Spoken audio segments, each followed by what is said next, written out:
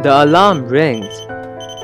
We wake up and we begin our day with phones in our hands, checking all the notifications from the previous night. And then at night, we end a tiring day again with phones in our hands. It is unfortunate to say that we spend most of our time on our gadgets, but we have to ask ourselves is it worth it?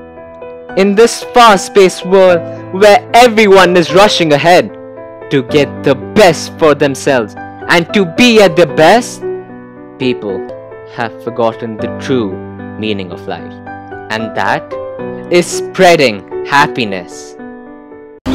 In the present world, people are more concerned about the likes, the comments, or the followers they get. Instead of playing games in the real world, they play games in the virtual world.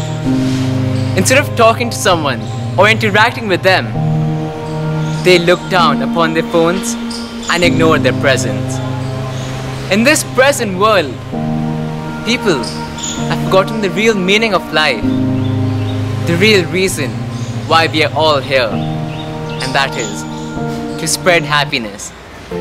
Happiness in whatever way they can, and to as many people as they can. Because by spreading happiness, you yourself will feel happier. So I urge you all to limit yourself for news and just look at the world around you and you will see how much of a difference it will make to yourself and how much happier you will feel. Happy is defined as a feeling or showing pleasure or contentment. There are many ways of spreading happiness, but for now, I'll be talking about community service. This can be done by donating your old toys, clothes, and shoes to the people who do not have, or by helping the laborers by giving food items and drinks to them after a long and tiring day of work, which will not really make them happy, but you yourself will feel happier, and I can assure you that you will feel the satisfaction which cannot be expressed in words.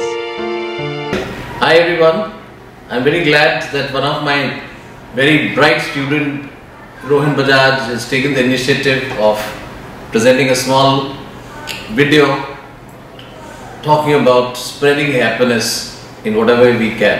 I'm sure uh, today's youth should understand that out of their 85% time which is spent on the gadgets, if they can spare just 20% of that time for spreading happiness by helping, supporting, giving emotional support or physical support as and when required.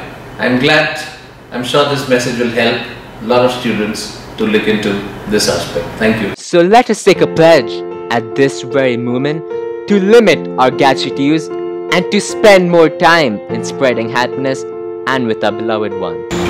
Join me in this journey and we will do it together. Thank you. Disconnect to reconnect.